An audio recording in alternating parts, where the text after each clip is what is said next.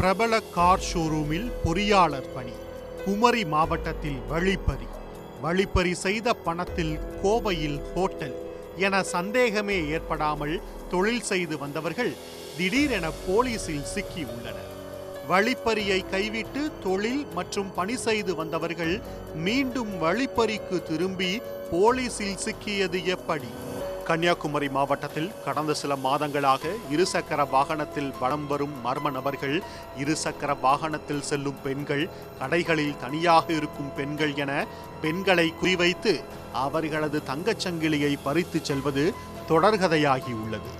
குறிப்பாக குளச்சல் ராஜாக்கா மங்கலம் கொல்லங்கோடு கருங்கல் மண்டைக்காடு இரணியல் காவல் நிலைய எல்லையில் மட்டும் கடந்த இரண்டு மாதங்களில் ஐம்பதுக்கும் மேற்பட்ட சங்கிலி பறிப்பு சம்பவங்கள் அரங்கேறியுள்ளன. இந்நிலையில் சங்கிலி பறிப்பில் ஈடுபடும் மர்ம நபர்களை பிடிக்க மாவட்ட காவல் கண்காணிப்பாளர் ஹரிகிரண் பிரசாத் மூன்று தனிப்படைகளை அமைத்து உத்தரவிட்டார். கடந்த ஒரு மாதமாக தனிப்படை போலீசார் சங்கிலி பறிப்பு சம்பவங்கள் அரங்கேறிய பகுதியில் உள்ள சிசிடிவி காட்சிகளை கைப்பற்றி சோதனை நடத்தினர். இதில் கேரளா பதிவெண் கொண்ட இருசக்கர வாகனங்களில் வரும் இரண்டு நபர்கள் சங்கிலி பறிப்பில் ஈடுபட்டது தெரிய வந்தது. இதையடுத்து குமரி கேரள எல்லை பகுதியில் இருந்து ஒவ்வொரு பகுதியிலும் இருக்கக்கூடிய சிசிடிவி காட்சிகளை ஆய்வு செய்தனர்.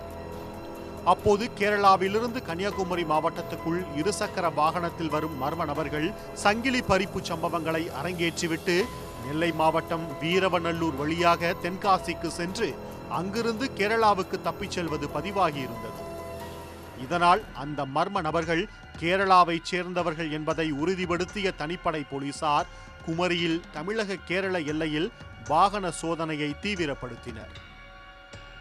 இந்நிலையில் குளச்சல் பகுதியில் சந்தேகத்துக்கு இடமாக இருசக்கர வாகனத்தில் வந்த இரண்டு பேரை மடக்கி குளச்சல் காவல் நிலையம் அழைத்துச் சென்று விசாரணை நடத்தினர். விசாரணையில் அந்த நபர்கள் கேரள மாநிலம் திருவனந்தபுரம் பகுதியைச் சேர்ந்த டிப்ளமோ பொறியாளர்களான வைஷாக் மற்றும் சுனித் என்பது தெரிய வந்தது தொடர்ந்து போலீசார் அவர்களிடம் நடத்திய விசாரணையில் திடுக்கிடும் தகவல்கள் வெளியாகியுள்ளன வைஷாக் மற்றும் சுனித் இருவருக்கும் முப்பத்தி மூன்று வயது. இருவரும் சிறுவயது முதல் நெருங்கிய நண்பர்களாக இருந்து வந்துள்ளனர். இருவருக்குமே திருமணமாகி மனைவி குழந்தைகள் உள்ளனர்.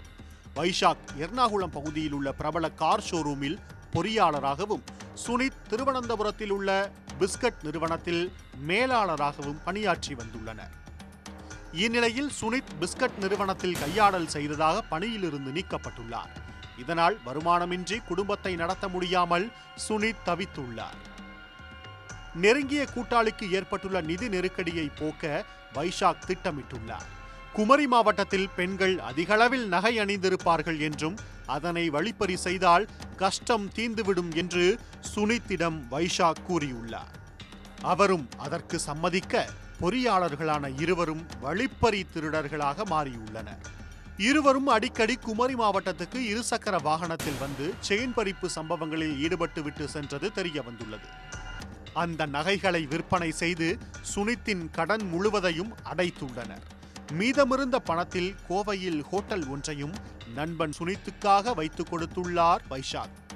நண்பனின் பிரச்சனைகள் தீர்ந்ததால் வழிப்பறியை கைவிட்டு எர்ணாகுளத்தில் உள்ள கார் ஷோரூமில் தனது பொறியாளர் பணியை வைஷாக் தொடர்ந்துள்ளார். சுனித் கோவையில் ஹோட்டலை நடத்தி வந்துள்ளார். இந்நிலையில் ஹோட்டலை விரிவுபடுத்துவதற்காக பர்னிச்சர் வாங்க வேண்டும் என வைஷாக்கிடம் கூறிய சுனித் அதற்கு பணம் தேவைப்படுவதாகவும் கூறியுள்ளார். இதனால் மீண்டும் ஒரு வழிப்பறி சம்பவத்தை நடத்தி ஹோட்டலுக்கான பர்னிச்சர் வாங்கலாம் என இருவரும் திட்டமிட்டுள்ளனர். இதற்காக இரு தினங்களுக்கு முன்னர் இருசக்கர வாகனத்தில் கேரளாவிலிருந்து குமரிக்கு வந்துள்ளனர். அப்போதுதான் போலீசாரிடம் சிக்கியது இருவரிடமும் நடத்திய விசாரணையில் தெரிய வந்துள்ளது இதையடுத்து அவர்கள் இருவரையும் கைது செய்த போலீசார் அவர்களிடமிருந்து முப்பது சவரன் தங்க நகை மற்றும் சங்கிலி பறிப்புக்கு பயன்படுத்திய இரண்டு இருசக்கர வாகனங்களை பறிமுதல் செய்ததோடு அவர்களை நீதிமன்றத்தில் ஆஜர்படுத்தி சிறையில் அடைத்தனர். வழிப்பறியை கைவிட்டு ஹோட்டல் வைத்தவர்கள் ஹோட்டலுக்கு பர்னிச்சர் வாங்குவதற்காக மீண்டும் வழிப்பறியில் ஈடுபட முயன்று கைதான சம்பவம் பரபரப்பை ஏற்படுத்தியுள்ளது.